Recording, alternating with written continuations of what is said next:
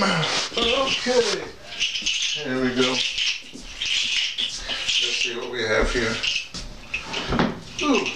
If you hear a little um, like murmuring in the background, that's because I'm in this very big uh, house in uh, outside of uh, well, St. Louis is a big whatever sprawling thing, and that's one of those devices. Alexa, you know, you say hey blah blah blah. And uh, JB, who missed his flight, not he missed his flight, they, uh, big hurricane, whatever he get, it's a long, complicated thing. Anyway, he's still here, so it'd be another day, I guess, before he leaves. And uh, so he's spending a day listening to a lecture, read him a book.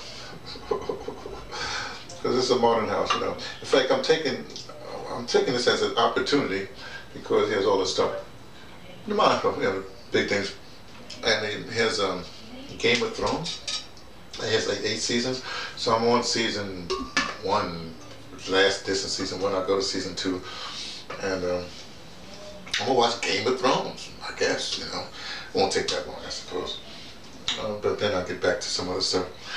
Anyway, uh, so in fact, as a dog, I guess I took the dog out for a walk. I like to take dogs out and walk, but I have my headphones on you know, as usual. Let's say headphones on, because then I'd be listening rather than Alexa talk. I'd be listening to stuff that I got off the web and stuff like that, you know. So, so that's what I'm doing. Oh. Ooh. I lost uh, my thing here. That this this thing's supposed to protect. This my talking modern stuff. I got to say this is supposed you're supposed to put your credit cards here and stuff like that because it protects you from whatever. So I went and bought some couple of bottles of wine, and uh, uh, so when he's gone, you know, I have some wine in the house, you know, because I don't drink that much. I drink like a little bit in there anyway. But my thing fell apart, you know. Oh, back together again. I got to get a new one of these, whatever that is, protect your credit card. Um, um, oh yeah, smoothie this morning. So after I took the dog out for a walk, made a smoothie, right? And this was a simple one though.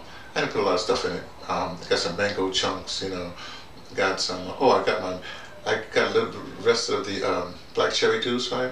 What else I put in? Um, um a clarinet bar. I'm sorry. Banana. Banana is always good for a smoothie. And some other stuff anyway. Um, something I put in there. I forget. So this is smoothie, nice. Mm. But you know what? I was taking on the dog for a walk. I had headphones on. I was listening to this whole thing about Dorothy Kilgallen. Now, here's the thing. Let me meander around just a little bit. You know, as you know, they're trying to, well, they got Tulsi Gabbard out. She's not in the next debate, the next couple of debates, because, you know, shenanigans of the DNC. And I keep on telling you, both with the DNC as well as in the black, the black community we're in a state of uh, Chimurenga. Chimurenga meaning was Chimurenga means revolutionary struggle, but another meaning of Chimurenga, Chimurenga is the struggle within. You know, uh, so we have a struggle within, you know, both these movements. And I insist the DNC must be crushed. That's one thing. As far as um, black people are concerned, no, we're not black people, not going to be crushed. But as far as the ADOS movement is, we got to lay people, they got to do some, adjust some things. Because remember, ADOS is a political movement. Okay, forget this other stuff, this other social movement. It's just a political movement, you know. So that's that's what we're doing. Just like DNC is a political movement. So we have these things happening at the same time. I'm not going to go into the finance, but and all over the world there's upheaval. But there's certainly political movements, there's social movements, there's all kinds of movements, you know. It's happening. Like I was listening to Zoe Williams the other day, and. Uh, there was a sister that came on here, and she really insulted this panel of black guys. But, anyway, but she came on again, and Zoe gave him a, a lot of time. He's very patient. He's a good teacher. And uh, and she was just like this sister. When I told that sister was on that train, when I took the train here to St. Louis, there was a, there was like, for lack of better term, there's a, a, redneck. She was there, me, and then this other gymnast, but she wasn't involved in this conversation. But the sister is acting like this sister, which is you give no space. She's there for to just to be, be almost like a preacher, a polemicer. She's a polemicer and wouldn't listen, wouldn't engage in any conversation, and not respect any kind of anything. So, so I'm saying, wow, this must be a whole generation of sisters like this, you know. They get a little bit of knowledge and they try to go with that as, as they're on a pulpit. They don't know how to research other knowledge. And like I said, there's you might they might be spousing the, the popular thing, the popular definition, the popular thing, but there's something under that, and there's something under that. I'm with something under that, and the research and, and going to what's called a radical, root, which is the root meaning radical. Anyway, so it was, I won't get this stuff, but it was really amazing. But here's the thing. I was thinking about Tulsi Gabbard and all these people saying, you know, like somebody walked out of a, um, uh, Bernie Sanders being introduced, and these women that was for, well, not women, this group that's for Kamala Harris said, time for a woman in the White House, time for a woman in the White House. What the heck? This glass breaking, glass ceilings, all this stuff. I'm going like, hey, first of all, let's deal with journalism. I'm just going to deal with journalism. If I'm black, I'm going to like the first black journalist that I know that was like talk about amazing was Ida B. Wells. Strangely enough, when um, a long time ago when my sister, my, my niece had to do a presentation in like a second grade class, I had her be for like Black History Month. I had to be Ida B. Wells, you know, so she had to research that and all that stuff. I don't know if she remembers that. When I get back to Virginia, I have to ask her. Anyway, so that's the thing. But as far as women journalists, you know, you all talk about your Oprahs and your, and your Barbara Walters, your pioneers. How come nobody talks about Dorothy Kilgallen? This woman was amazing. Not only because she write, but she was a true journalist and an intellect. But they don't raise her up. That's my that's my point. In every who are you raising up as your as your examples? You know what I mean? Why isn't anybody raising up Dorothy Kilgallen? Even I back in the day I was watching on What's My Line, you know what I mean? And anyway, that's what I'm trying to say. These women people are misguided. They want to break the glass ceiling. With who? Who's you, who, who are you dealing with?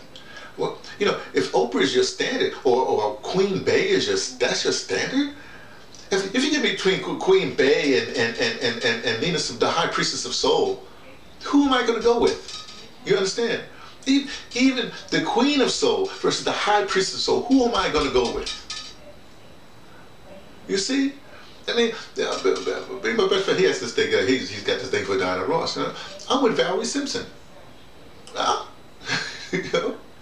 Who, now you might know Diana Ross da da da da. For me, Valerie Simpson is more important. I just saw something on TV and I realized one of the songs, Valerie Simpson, California Dreamer, something like that, done by someone. Valerie Simpson writing, Nick Ashford, writing all these songs. Who is the more important person? You know, who broke you? You see what I'm saying? Anyway, I just thought I ran on about that. Maybe because it's a good. Oh, I got real figs in this too. I did that one, figs. I think that's what makes it so good. I like the, I love figs, real figs. I'm getting you all this because you know this whole thing about first and breaking this and people not listening to it. It's starting to bug me. I mean, it really is because I'm going like, don't people know in this day and age when you can research stuff? Don't be lazy. Come on, don't be any any vagina will do, any black person will do. No, you know, any any first or second thought that I have will do listen and go deeper. If somebody gives you a book to read, then try to check out at least the, you know the preface of the book. I should say that. You, you see what I'm saying? Okay. That's what I'm saying.